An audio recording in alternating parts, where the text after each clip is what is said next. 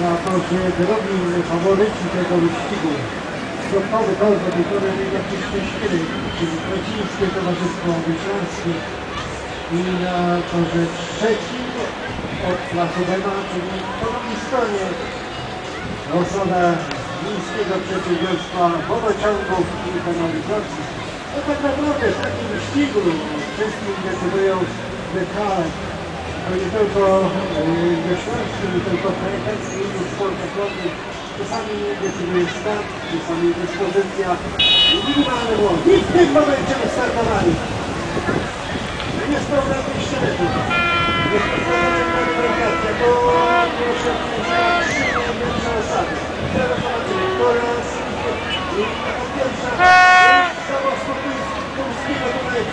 Thank